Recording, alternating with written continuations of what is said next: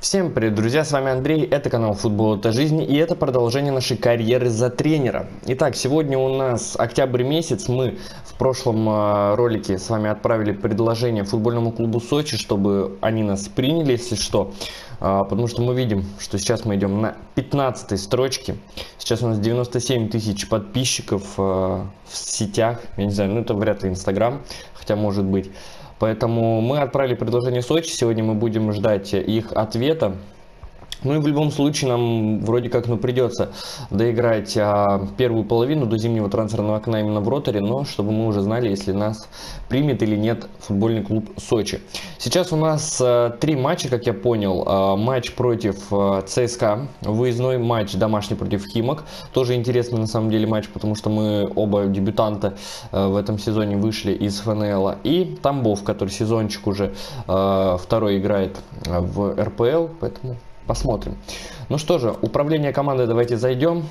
Посмотрим, что здесь, может быть, стоит изменить. Ну, я как вижу, здесь ничего особо нельзя прям изменить. Такого командный дух не повышается, поэтому мы будем так и играть. А 63 у нас командный дух пока что. Ну что же, играем мы сейчас против а, ЦСКА на выезде. Будет интересный, я надеюсь, матч. А, не выпускают, кстати, Акинфеева, не знаю, может продали уже. Лемайтре выходит играть в воротах. У ЦСКА по составчику так смотрим, ну вроде как основной весь состав, а, ну вот только вот а, позиция вратаря не основная, мне кажется. Ну что же, поехали. Итак, мы на стадионе ВЭБ Арена. Замечательный стадион в городе Москва. А, принимает сегодня нас столичный клуб ЦСКА Москва. Очень именитые игроки, естественно. Ну, кроме вот еще раз, напоминаю, позиции вратаря Игоря Кенфея сегодня нету почему-то на поле. Но мы все равно готовы, если что, показать э, весь свой класс и будем, наверное, все-таки играть от обороны, потому что мы видим, как, э, я даже не знаю, во всю, наверное, оборону буду играть, прям реально, какую-нибудь контратаку, одну выйти мне за матч, я буду очень рад, я иду в полную оборону, для меня теперь точно это идет именно борьба за каждое абсолютно очко, потому что в прошлом э, выпуске я проиграл а, за ротор Тульскому Арсеналу. На 90 минуте мы взяли и пропустили. Это было очень обидно, конечно. Или не Туль... Нет, э, не Тульскому Арсеналу, Уфея. Уфея вроде, да, проиграл 1-0. Они на 90 минуте просто вышли вперед, и все. Поэтому мы сегодня будем играть чисто от а, обороны. Ну и вот, ЦСКА сейчас, естественно, идет в атаку. Ой-ой-ой, а вот это вот опасный сейчас штрафной. А, фалит наш игрок. Зурико на Ахметове. Ну и сейчас будет опасный штрафной. Очень близко до ворот. Удар, и, естественно, это гол. Естественно, каждый штрафной будет залетать. Загоев забивает нам со стандарта. И осуждаю, на самом деле, вот это вот празднование. Вот. Ну должен здесь даже как-то очень ну, поздно прыгал. Ничью у нас не получилось прямо сейчас именно сдержать 0-0. Мы пропустили со стандарта, поэтому надо теперь бороться за победу. Ой, за ничью хотя бы одну. Ну нет, все. Забивает нам еще Никола Влашич, и это 2-0. И я просто уже, ну, не знаю, кого мне выпускать. Серченкова давайте выпущу. Там у Давитяшвили а, форма хорошая, но не суть. Он устал. Вот. Ну и все. Раз я проигрываю теперь 2-0, мне точно нечего терять, и я пойду все в атаку. Даже без Игоря Кенфеева на воротах ЦСКА выиграет еще там 2-0, обыграв Ротор. Эм, заслуженно по делу, даже вот не смогли мы справиться с обороной, то что даже ушли э, все в оборону. Два удара в створ, два гола от э, ЦСКА.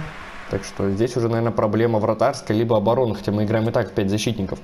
А, Ротор все так же на последней строчке, но здесь, кстати, Ахмат набирает э, очки. А, у них было 0 вроде, и они победили, но все равно у них 12 пропущенных мячей за, получается, 6 туров. У нас э, 7, мы пропустили 2 хотя бы забили, ну так же как и Ахмат. Мы меньше всех в лиге, кстати, забиваем. Вот, а, но пропускаем, кстати, примерно столько же, сколько и первая строчка Краснодар. Вот, но у них хотя бы, значит, забивать они могут. Вот, у нас такого уровня игроков, естественно, нету. А, мы симулируем дальше. Сейчас у нас следующая игра против Хим, Химок. Вот здесь прошла, я так понимаю, международная пауза, поэтому наши игроки должны были все-таки отдохнуть. А, нам приходит сообщение, результаты работы, скауты, скауты. Так, ну я так понял, сейчас будем а, смотреть по переговорам. Так, работа скаутов, кстати. Нам нашли а, левого нападающего Либерто Белтран, 24 года, но я добавлю, добавлю пока что. А, Паулето, ну это уже 29 как-то, не знаю, не стал бы я брать такого. И Палумекю, вот такие вот у нас футболисты. Нам нашел скаут. А, Писегова хотят у нас а, в Херенвен, в Голландию. Так, что у нас по Писегову? А, ему 31, я не помню, я выставлял его или нет. Нет, никуда я не выставлял, поэтому мы отклоняем так же, как и Джану Ананидзе. Он у нас тоже один из ключевых игроков. Давид Ашвили в Хофенхайм хотят забрать. Тоже я отклоняю все. Это все предложения, да.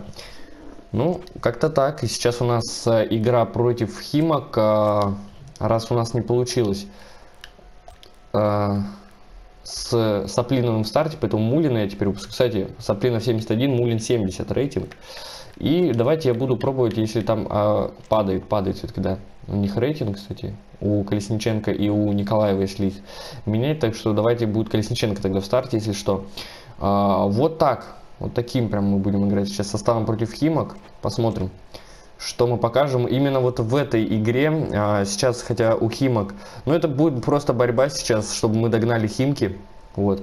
А, это надежда на еще одну а, победу хотя бы. Будем надеяться. Играем все-таки дома. Вот. И вроде как Ротор даже с первой строчки ФНЛ выше, из ФНЛ в РПЛ вышли, поэтому я надеюсь у нас все получится. Ротор Химки, поехали. Итак, мы на замечательном нашем стадионе Волгоград Арена принимаем сегодня футбольный клуб Химки. Команда тоже из э, ФНЛ, практически сейчас это в прошлом году, это естественно э, тур ФНЛ, но в этом году это Матч чемпионата России, получается уже седьмой тур, если я ничего не путаю. Ну и сегодня у нас действительно пойдет прям борьба э, за победу. Посмотрим сейчас. Но они в атакующую, ну и мы тогда тоже в атакующую пойдем. Сравниваем, точнее владение пытаемся сравнять э, с Химками. То было 60, теперь уже вот 53 у них. Вот подача, но нет, все-таки обидно, но забивает нам Мишуков. Э, забивает. Тоже вот опять ошибка же Довгни привела к этому голу. Он сейчас просто отбил мяч именно на ногу э, игроку Химок, Мишукову как раз. Вот она подача. Здесь Квирквели еще как-то странно досыграл. Мог бы и в поле, ладно, там может быть Довгни бы что-нибудь бы попытался сделать, но нет. Э, Конате выходит вместо Дедюна, но сейчас будем смотреть, что будут Химки делать. Э, они идут в нейтральный, а мы тогда все в атаку пойдем. Ну потому что мне действительно сейчас нечего терять. Либо 2-0, либо хотя бы 1-1 попытаться, но мы должны. Вот опять же Саплинов поборолся за эту верховую передачу, но никто не откликнулся на это. Не зацепился за мяч. вот, вот, вот, ну, и это 1-1, отлично. Вот она сработала, Саплинов э, забивает и сравнивает счет, отлично. Мы и так очень мало, друзья, забиваем, поэтому будем радоваться абсолютно любому голу. Тем более этот гол очень важен сейчас. Э, мы сравняли счет э, в, в таком вот матче на 77-й минуте. Я ухожу немножко вот в обычную атаку, так же, как и Химки сейчас тоже переходят в обычную атаку. Они на нейтралочку сразу включались, когда... Забили нам первый гол. 4 очка теперь у нас, 7 очков у Химок. А, получилось нам сравнять счет благодаря тактической моей замене. Все-таки это получилось. Тренерская замена сработала. Мы сравняли счет. А, благодаря голу Саплинова седьмой тур заканчивается. Ничья 1-1. Мы поднимаемся теперь. А, Динамо здесь обгоняем мы даже не знаю по какому показателю, но, наверное, все-таки по, по э, разнице мячей у нас минус 5, минус 5, у них минус 7, э, вот. Но статистика пока что у нас с ними одинаковая. А как мы видим, Сочи сейчас, я не знаю, вряд ли они нас возьмут в тренера к себе, потому что они сейчас идут аж на третьей строчке. Это очень интересно. Ну и сейчас вот э, объявление состава национальных сборных, и я все жду, когда все-таки. Когда, когда, когда. Вызов в национальную сборную, здесь по Макарову что-то, когда вообще вот тренерская карьера, предложение главному тренеру, идут переговоры, а когда вот все-таки, я не знаю, когда Сочи-то уже, ну, сказали бы да, нет, уже точно, чтобы я понимал, э, я бы с другой бы уже командой, если что, вел бы переговоры. Так, у нас хотят э, взять Макарова э, в полный трансфер. У нас вроде как Макаров вообще не играет, но ему 24 года, но я все равно нет. Я буду дорожить каждым игроком. У меня и так там скамейка запасных а, не самая лучшая, можно сказать. А, я сейчас посмотрю, можно ли еще куда-нибудь подать на самом деле. Запрос трансфера. Можно, скорее всего. А, стоп. Сейчас мы представим, вы уже... Угу. Значит, будем ждать. Нельзя два там, более одного предложения подавать в другие команды. Поэтому, ну, я жду, я жду, что решит все-таки футбольный клуб Сочи. Неплохо они сейчас тоже выступают. Третья строчка у них. Ну и у нас сейчас последний матч, э, выездной причем. Нет, не в тренерской даже карьере. Микел Тадзе хотят а, либо купить, либо в аренду. А, Микел Тадзе у нас а, в аренду, вот его мы можем, потому что он центральный нападающий, а у нас а, Саплинов и Мулин. Так что здесь, может быть, Саплинов уже 72, кстати, гол забил, наверное, из-за этого. А, давайте повторные переговоры, нам все-таки денежки-то тоже нужны. Где-нибудь 175 э, предложим и изменим аренду в течение полугода. Вот. Все, переводим время. А, получается, я даже не знаю, но давайте я так, пожалуй, и оставлю. Я сейчас посмотрю, будет ли это влиять на рейтинг, э, на сыгранность командный дух там нашей команды. Нет, никак не влияет, поэтому мы начинаем все так же с Мулиным а, в стартовом составе, потом Саплинова выпускаем во втором тайме, практически сразу, если он не забьет, конечно, у нас Мулин. И будем играть по длинному пасу, потому что вот эти забросы прям очень хорошо да сработали против Химок. Поэтому Тамбов Ротор, а, восьмой, если не ошибаюсь, тур. Поехали. Итак, э, Спартак Арена. Тамбов сегодня принимает э, Ротор. Интересная будет, конечно, тоже игра. А, Тамбов борется прошлом сезоне, наверное, боролся все-таки за выживание, у них это получилось.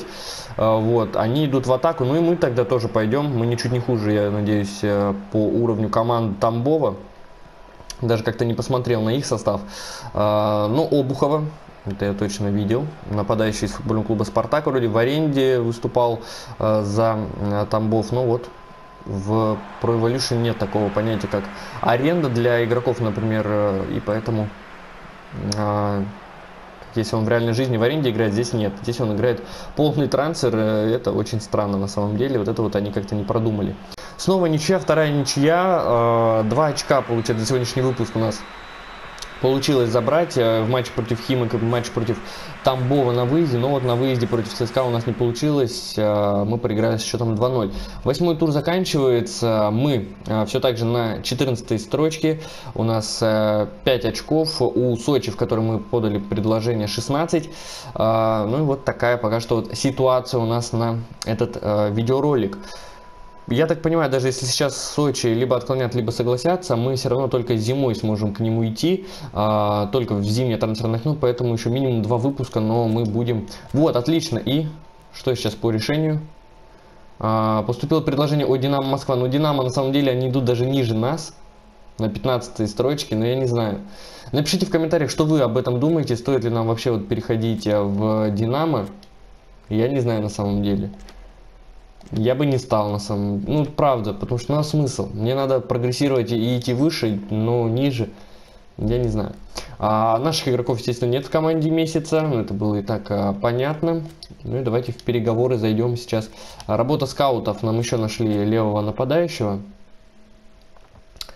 Так, вот такой вот есть из Кюрасао а, в Хераклисе в Голландии играет, добавим тоже в список 20 -го года, 68. А, вот. Во Франции еще в, за Париж играет во второй лиге, тоже посмотрим, почему бы и нет. Ну и тут уже по моей команде уже предложение, наверное, приходит. Так, ну это Микел Тадзе, да. А, они просят снизить. Так, а что там насчет полгода они согласились? Да, они согласились на полгода его в аренду взять. Нам это отлично. И 154 э, а, тысячи евро нам в бюджет прилетает. И все, это единственное что было интересно. Ну и все получается. Следующие уже матчи у нас будут в ноябре. Это уже будет в следующем выпуске. Спасибо всем большое, друзья, за просмотр. Подписывайтесь на канал, ставьте лайки. Не забывайте нажимать на колокольчик, чтобы не пропускать наши новые видеоролики и стримы, которые у нас будут выходить теперь по выходным.